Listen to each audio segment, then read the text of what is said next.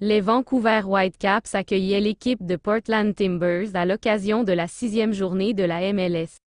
Portée par Fafa Pico, auteur d'un but et d'une passe décisive, l'équipe canadienne l'a emporté 3 à 2.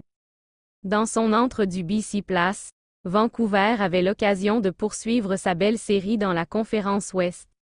Face aux Portland Timbers, le club basé au Canada a pris le match par le bon bout en menant 2 à 0 au bout de 29 minutes. Ryan Go, deuxième, et Fafa Pico, 29e, ont marqué pour permettre à leur équipe de boucler la mi-temps avec un bel avantage.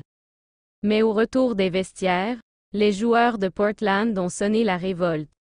D'abord en réduisant le score par le billet d'Evander à la 52e minute, puis en égalisant sur une belle réalisation de Felipe Mora, 77e.